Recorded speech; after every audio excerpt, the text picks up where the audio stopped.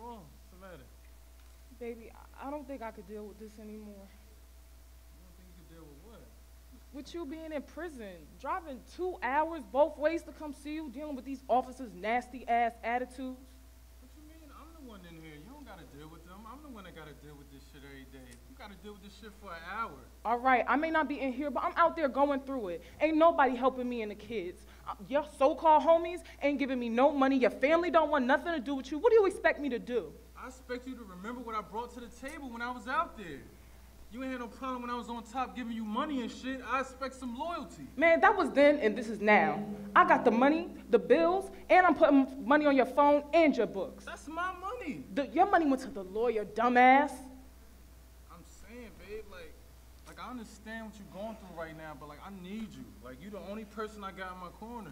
In your corner, I've been in your corner for three years. I've been working 80 hours a week.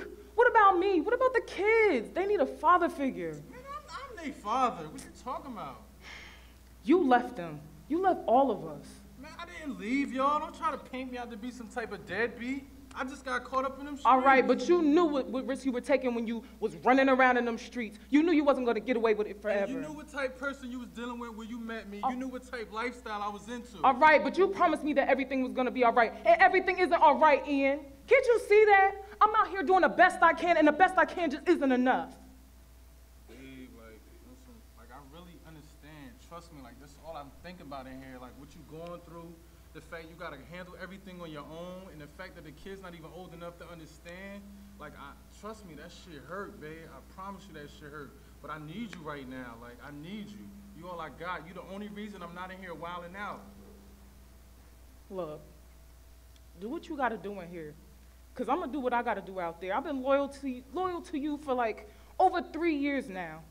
And it's about time I show myself some loyalty. I'm saying like, what do you mean? What, what you trying to say?